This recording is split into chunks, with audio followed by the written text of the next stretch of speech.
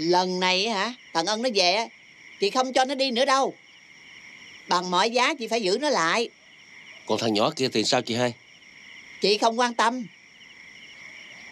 Con nhỏ đó Cố tình theo bám thằng Ân. Thì hậu quả nó phải lãnh. Trách gì ai? Nhưng mà thằng nhỏ đó Là máu mủ của mình nghe chị hai. Nếu con nhỏ đã đồng ý giao con á Thì chị với con Hiền sẽ nhận. Còn không á hả? Ôi Mình nghĩ như là cục máu độc. Mình nặng mình bỏ đi có ăn nhầm gì? Chị hai Chị suy nghĩ lại đi. Chứ em thấy á Mình làm hơi quá đáng rồi đó. Cậu im đi. Đó là chuyện của chị. Nếu chị đã nói vậy Tùy chị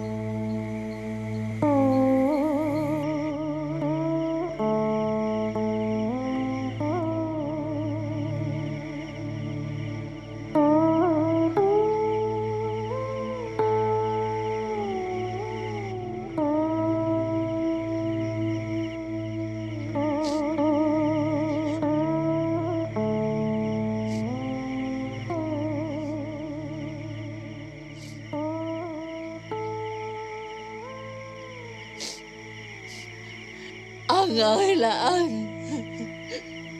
Tại sao con buộc má phải làm chuyện thất đức vậy ân?